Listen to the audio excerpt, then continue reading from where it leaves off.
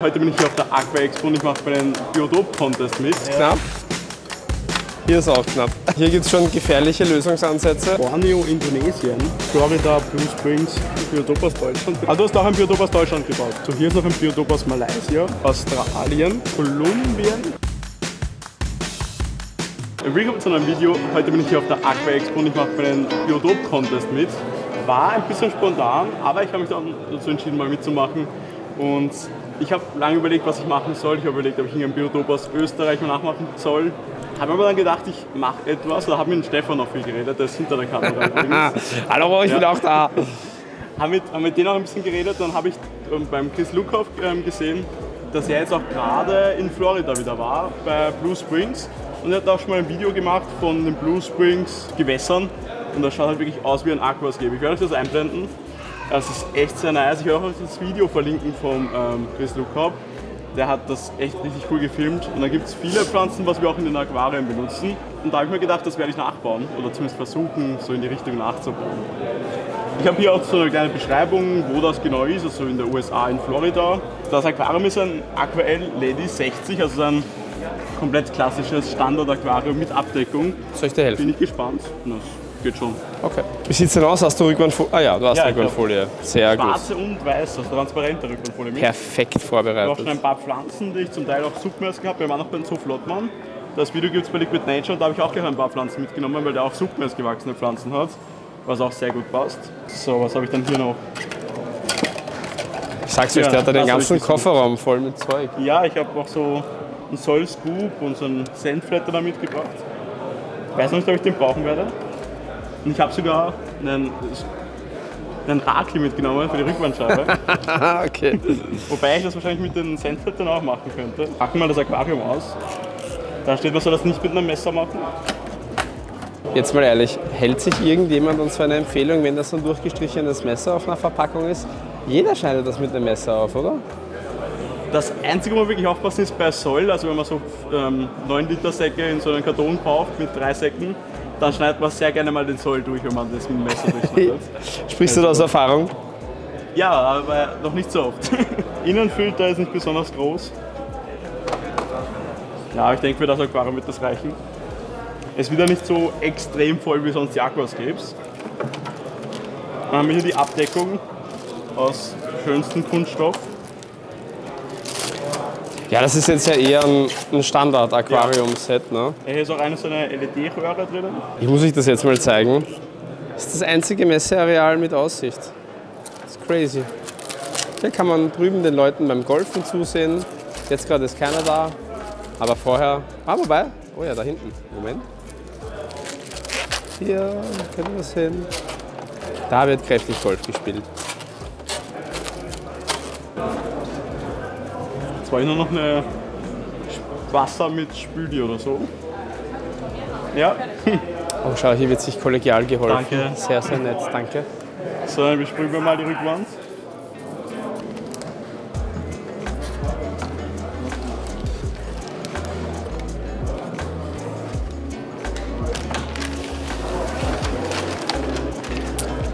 Die ist auch gar nicht zu klein.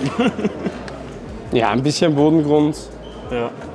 Und oben verdeckt ja auch der Deckel ein bisschen was. Also wenn du oben und unten ein paar Zentimeter Rand hast, ist das nicht so schlimm. ja. Also brauche ich die obere Kante ja gar nicht irgendwie ausrichten, weil die sieht man eh nicht. Das stimmt. Darf ich auch noch ein bisschen Küchenrolle auspacken? Danke. Jetzt einfach das ganze Wasser rausdrücken. Ähm. War vielleicht eine Spur so viel Spülmittel, oder?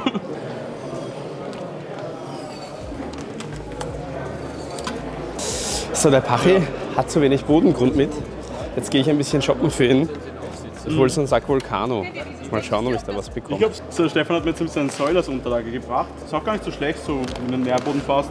Hinten, wo man den eh nicht sehen wird, weil in dem Biotop gibt es relativ hellen Sand. Und dann fangen wir an mit den Säulen. Also die Aufziehlaschen funktionieren schon mal richtig gut. Aber Aber zu meiner Entschuldigung, es gab keinen Vulcano. okay. Ja, Dann dachte ich mir, ich nehme Sand mit und Sand gab es auch nicht. Alle schweren Sachen, was günstiger sind, will man nicht unbedingt auf eine Messe schleppen. Ja, ich verstehe die Händler. Also ich würde auch nicht zwei Tonnen Sand mitnehmen auf eine Messe. Es ist noch ziemlich hoch leider, das Aquarium. Also Ja, leider ist der Tisch auch ziemlich hoch. Ja, ne? ja das, das meine ich auch damit. Ja, Schau mal, hier, hier gibt es schon gefährliche Lösungsansätze. Einfach auf einem Eimer rumstehen. Harry, soll ich dir auch einen Eimer besorgen? ich glaube, das wird schwieriger. Aber es geht. Ich finde es auch toll, dass du den Filter bereits montiert Ja, hast. das ist sehr wichtig. Aber ich denke, für so ein Biotop, ich weiß nicht, wie der Stefan das sieht, also der Filter ist schon sehr klein. Aber generell würde ich sagen, für so ein Biotop-Aquarium mit weniger Pflanzen braucht man nicht so einen starken Filter. Ja, also ich denke, was gibt's was? Also es kommt noch ein bisschen drauf an, also hier habe ich auch relativ viel Pflanzen, deswegen wäre es schon ein bisschen stärker, aber ich könnte mir auch vorstellen, dass man da einfach nur eine Pumpe reinhängen kann, Ja. also ohne Filter. Nur das Wasser bewegen. Aber die Milchglasfolie hast du sehr schön angebracht, also Ja. ich sehe keine Knicke oder so. ja, oben ganz Talentiert. leicht. Aber Ach, das merkt man gar nicht. Ja. Also auf der Kamera sehe ich da gar nichts. Was benutzt du denn hier für einen Sandflattener? meinen eigenen, die kommen bald. Also es ist noch ein Prototyp, ist noch nicht der Originale, was dann kommt. Aber finde ich ganz praktisch.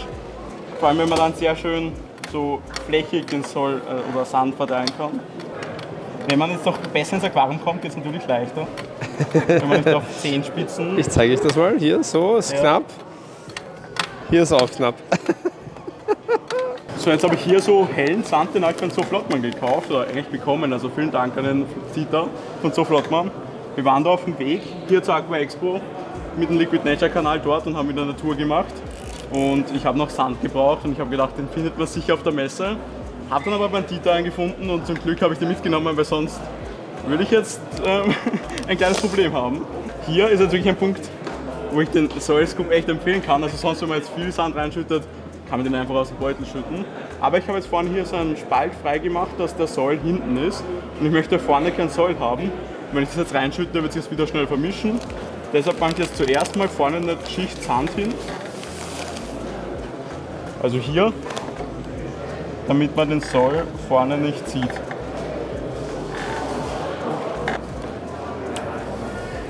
So, Und jetzt können wir auch den Soll direkt reinschütten, den Sand direkt reinschütten.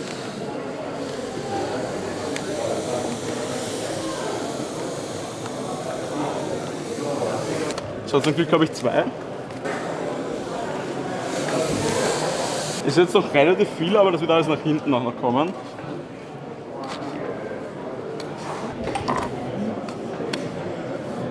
So, und jetzt geht es ans Hardscape. Ich habe Steine gar nicht so viel gesehen in den Biotopaufnahmen, aber ich habe so ein paar Flusssteine ähm, von den Garten meiner Eltern, was ich schon länger zu Hause habe, äh, mitgenommen.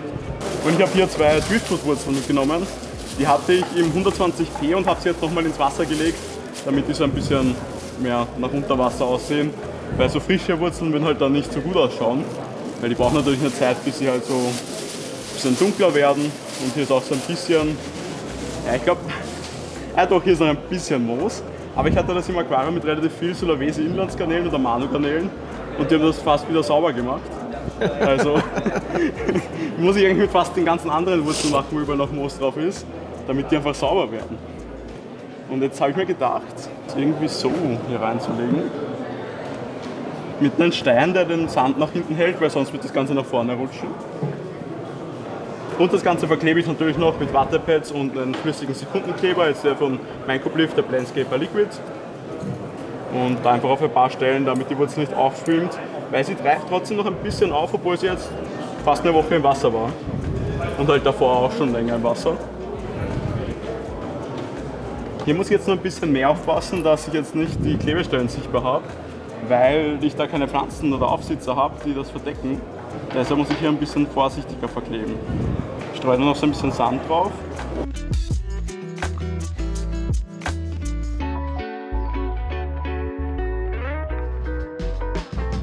So, ich bin jetzt mit dem Harzgeber schon fast fertig. Vielleicht kommen noch ein, zwei Steine, aber auf den Biotopaufnahmen habe ich halt fast keine Steine, wie gesagt, gesehen. Deshalb sind die auch mehr so da, um die, um die Wurzeln zu fixieren. Und ich denke, ein paar Steine sind überall, also sollte das passen. So, ich werde jetzt kurz Pause machen und die anderen sind zum Teil schon fertig. Also hier läuft schon ein Aquarium voll. Sascha ist auch, glaube ich, schon ziemlich fertig, oder?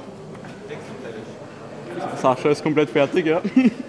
Und ich werde jetzt das Ganze bepflanzen. Ich habe jetzt noch ein bisschen Ich habe gehört, du machst da Wüstenrennmäuse rein. Find ich Ja, es wird dann- Geile Idee, ja. Wüstenrennen aus Biotop. Richtig cool. Ja, so, ich bin jetzt gerade am Bepflanzen. Hier habe ich einmal das Vigia Balustris vorbereitet. Ich habe auch ein bisschen was vom Zoo Flottmann mitgenommen, weil der hat ja auch schon Subnest gewachsen. Ne? Ludwigia, Ludwigia repens, das ist nicht Palustris, Ludwigia repens. Dann ein bisschen Sagittaria, auch von meinem 45F rausgeholt, also auch schon schön langgewachsenes. Und hier habe ich vor eineinhalb Wochen einen Vito-Topf in seinen Sollbecher gesetzt und ins Aquarium gestellt. Ist noch nicht so hoch, aber ich, ich denke, das wird schon passen. Und hier habe ich jetzt noch ein bisschen Moos geholt, das werde ich auch noch aufkleben, weil das ist hier auch so irgendwo ein bisschen Moos, algig. Und dann noch Hydrocotyl, Verticillator, werde ich auch noch verteilen. Und dann schaue ich mal, ob ich mit den Pflanzen auskomme oder ob ich mir unten noch ein paar suchen muss.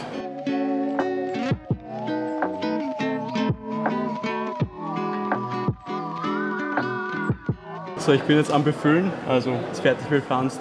Alles sehr schön aufgeteilt, ich denke es passt, also ich bin ganz zufrieden damit. Ich zeige euch das dann gleich, wenn das Licht an ist. Es ist nicht besonders stark, also ich bin gespannt, wie gut man das sehen wird. Aber jetzt bin ich schon so gut wie fertig, also ging echt schnell. So, das ist jetzt das Ergebnis. Also ich hoffe, man kann nicht verstehen, es ist ziemlich laut hier auf der Tribüne. Aber ich bin sehr zufrieden. Also ich hätte natürlich noch mehr rausholen können, wenn ich mehr Zeit hätte und mehr Material. Ich muss sagen, es war ja auch relativ spontan und ich habe mich nicht so gut vorbereitet. Aber so, hier ist das Vorbild. Das Video ist auch in der Beschreibung verlinkt. Ich hätte ein bisschen mehr Wurzeln mitnehmen können, dann hätte ich das ein bisschen voller machen können. Und ja, von den Pflanzen finde ich, bin ich ganz zufrieden. Also hinten der Busch, ähm, das Vigia repens, ist natürlich, wenn die dann mal wächst und zuwächst und länger wächst, wird das auch besser aussehen. Aber hier die Mischung aus der Sakedaria und der Hydrocotyl ist ganz cool. Hier ist ein bisschen Moos auf dem, ähm, auf dem Holz. Also nicht ganz zufrieden. Der Filter läuft jetzt. Noch ein, zwei Blätter, die werde ich dann die Tage absammeln oder morgen halt in der Früh.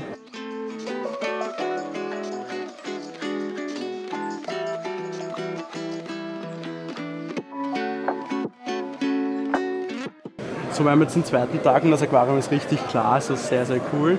Und ich zeige euch jetzt mal gleich die anderen und vor allem so ein bisschen auf das Thema Aquascaping und Biotop-Aquaristik eingehen. Weil in meinen Augen sind das auch hier alles Aquascapes, die hier stehen. Natürlich meins geht mehr in die typische Aquascaping-Richtung, was ihr so kennt. Aber die anderen Biotop-Aquarien sind ja auch alle schön eingerichtet und es wurden sich viele Gedanken gemacht, wie welche Steine und Wurzeln platziert wurden. Deshalb würde ich sagen, dass das auch Aquascaping ist. Vielleicht halt Biotop-Style, aber ja, finde ich sehr cool. Ich zeige euch mal die anderen Aquarien. Bin ein bisschen krank geworden, aber nicht so schlimm. Hier das Aquarium gleich neben mir. Es ist ja alles ein bisschen schwierig zu filmen, weil es so hell ist und überall Spiegelungen sind. Aber das ist auch richtig cool geworden. Also hier ist so ein bisschen die Vorlage davon. Und zwar ist es ein Biotop von ähm, Borneo, Indonesien. Also sehr cool. Noch eine ganze Beschreibung dazu und Bilder. Und es ist ein kleines Palutarium geworden. Das ist auch hier mit so einem Wasserfall und richtig schönen Moos. Also gefällt mir sehr gut. Hier so die Fahne, viel Bucephalandras, viel so Palmwedel und Blätter. So ist auch sehr schön geworden, gefällt mir auch sehr. Dann hier mein Aquarium, habt ihr eh schon gesehen, aus Florida, Blue Springs. Das hier ist von Sascha, ein Biotop aus Deutschland, bin aus der Nähe. Hat auch ein Video gemacht, wie er das ganze Hardscape gesucht hat. Auch sehr cool geworden mit den ganzen feinen Ästen. Hier sind auch ein paar Pflanzen im Biotop. Also gefällt mir auch sehr gut. Vor allem der untere Bereich hier schaut sehr natürlich aus. Und es ist ziemlich klar, obwohl hier so viel Mulm und so liegt. Ist auch sehr cool geworden. Hier ist ein bisschen die Inspiration von dem Wald, wo er die Steine und so gesucht hat. Also sehr, sehr schön. So, hier ist das nächste Aquarium, was auch in Deutschland Biotop ist. Das ist ein Aquarium-Contest, hier liegt ziemlich viel drumherum. Also ich muss sagen, ich bin nicht so begeistert davon, dass hier so viel Zeug hier drumherum liegt und bei den anderen nicht. Ich finde es generell immer ein bisschen schwierig, wenn es nicht so viel ähm, Regeln und so gibt, die halt ähm, vorher bekannt sind. Weil generell finde ich das cool, wenn so viele Sachen drumherum liegen, damit das Ganze gut aussieht. Aber es ist immer ein bisschen blöd, wenn die Hälfte das nicht so weiß und es einfach nicht vorgegeben ist. Also generell würde ich es cool finden, wenn es einfach schon vorher irgendwo steht. Man kann den Tisch rundherum dekorieren, weil dann schaut das Ganze halt natürlich hier auf der Messe sehr gut aus. Aber die meisten haben das halt nicht und dann ist es immer so ein bisschen blöd, wenn dann ein Aquarium ganz anders aussieht und auch wenn nur das Innere bewertet wird. Es wird nur das ähm, Innere bewertet. Ja, aber es trübt den Blick vom Aquarium. Also natürlich, wenn du so drauf schaust, siehst du ja das drumherum. Und Ja. auch wenn du dich nur auf das Innere konzentrierst, Ja, aber hast du denn macht gefragt, das ja ob, du, was ob du was mit. außen machen darfst? Ich habe nichts gefragt, weil ich finde das halt immer schwierig, wenn man einzeln fragt und dann dass irgendwann vielleicht ein Tag von Contest nochmal bekannt gegeben wird. Stimmt, aber das da finde ich gar nicht, dass. der Folie. Guck mal da, das ist Ja. der Folie und manche schon. Ja, ja- also ich finde gar nicht, dass das das du falsch machst, sondern dass generell vom Contest falsch kommuniziert wird. Ja, das weil, weil wenn das gewesen. einfach kommuniziert wird, könnte jeder sowas aufbauen und dann wird halt jedes noch besser aussehen. Ja, natürlich. Das Aber, aber ja, also ja. deswegen erwähne ich das, damit, damit halt für die nächsten Jahre, dass vielleicht ein bisschen mehr ähm, vorher kommuniziert wird, dass halt mehr, mehr Möglichkeiten haben, Auf Sachen jeden zu Fall, machen. das sehe ich ja. genau wie du. Ja. Weil vor allem beim Biotop finde ich es halt cool, mehr so Sachen, was rauswachsen zu es machen. ist halt auch ein Biotop. Weil- ne? ja, Das voll. wirkt einfach wesentlich mehr. Und ich finde eigentlich auch cool, ein Biotop, was oben offen ist, Ja, ich finde auch. so, kann Also, man halt wirklich was rauswachsen Ja. lassen. Das finde ich schon wesentlich besser. auf jeden Fall.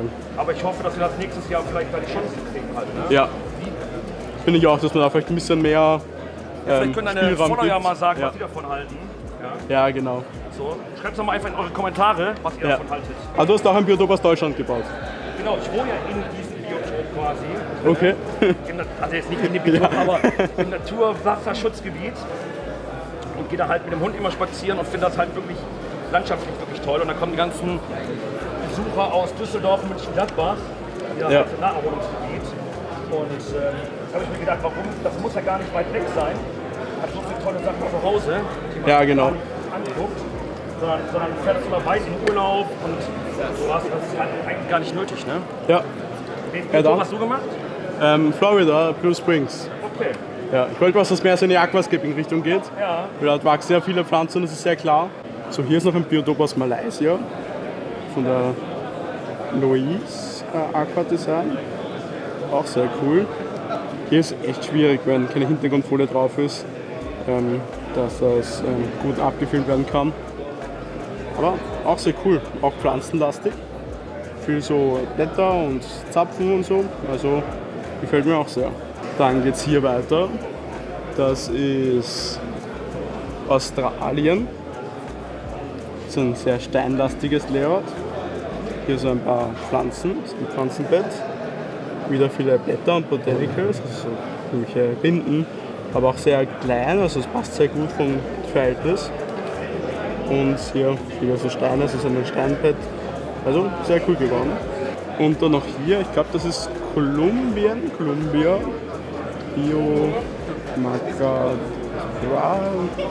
Ja, Kolumbien glaube ich. Also coole Schrift, aber ein bisschen schwer zu erkennen und schwer zu lesen, aber sehr schön geschrieben. Und hier das Aquarium, auch sehr schön mit vielen Echinodorus. Hier, ich weiß gar nicht, was für eine Pflanze das hier ist. Das irgendwelche Krypten, Kryptokylen. Sagen mir jetzt gar nichts, aber Nymphoides. Ja, hier. Nymphoides gardneriana. Nymphoides placidia. Und Echinodorus reni. So, Echinodorus habe ich zumindest erkannt. Und hier würde ich auch sagen, es ist halt alles irgendwie, hat einen Grund, wie die Wurzel hier so liegt. Würde ich sagen, ist ein Aquascape oder zumindest geht in die Aquascape-Richtung.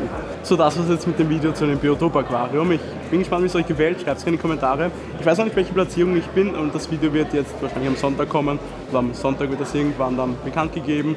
Deswegen, vielleicht steht es jetzt hier eingeblendet, welchen Platz ich hier erreicht habe. Ich muss sagen, mir ist die Platzierung nicht so wichtig. Es, mir geht es mehr darum, hier Spaß zu haben und ein cooles Aquarium einzurichten. Und dann bis zum nächsten Mal.